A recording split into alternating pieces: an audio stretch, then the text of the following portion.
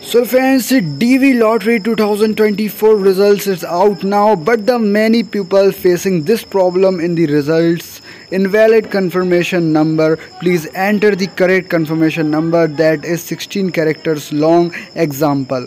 So guys if you guys having this problem in DV lottery 2024 results. So guys you can watch this video till end because i'm showing in this video why this problem is coming and what is the solution of this problem. So guys you can watch this video till end. And if you guys new on my channel you can like this video and don't forget to subscribe my channel for more videos like that. So friends firstly you have to know that the DV lottery 2024 results out recently. So guys many people comes in this website and the this is the server issue of this website because mainly many traffic is come on this website and also this website is going crashed.